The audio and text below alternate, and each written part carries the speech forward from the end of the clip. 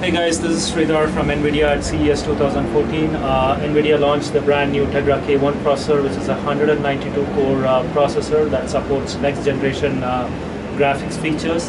Uh, Tegra K1 brings our Kepler GPU architecture to mobile, and what Kepler delivers is not only amazing performance but you know exceptional energy efficiency and next generation graphics features like OpenGL 4.4. Uh, to demonstrate what Tegra K1 can do, let me launch a demo here called the FaceWorks.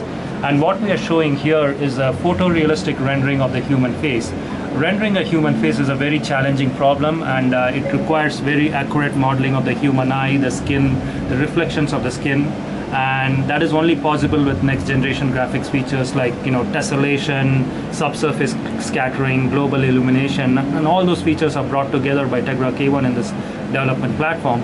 Here you can see that as the light is shining from behind uh, Ira, we call him Ira, it's actually, you know, uh, permeating through his ears, it's like reflecting off his skin, there's a nice sheen to his skin, makes it look very real.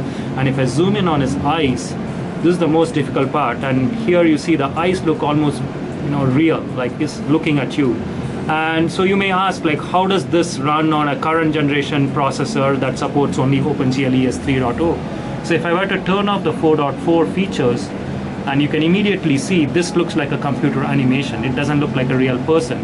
Uh, so there is no shimmer in his eyes, there's no reflection, the skins look very dry, and as I move around, it's a very flat lighting. It's not dynamic lighting. So now if I turn back OGL 4.4, you can see the eyes come to life, his skin comes to life, it looks like a real person. And if I hadn't told you that this is a rendering, you would say this is a video of a person looking at uh, you.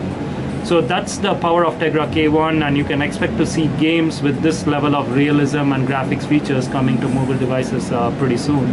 And uh, Tegra K1 is not just about the GPU. There are two versions of Tegra K1. There's a 32-bit version that runs a quad-core A15 processor with a fifth battery saver core. And there's a 64-bit version that uses our custom CPU design, which uh, uses ARM v8 uh, licensing. And uh, the 64-bit version will come out later this year. I'm really excited about that, and that will bring desktop class applications to mobile devices.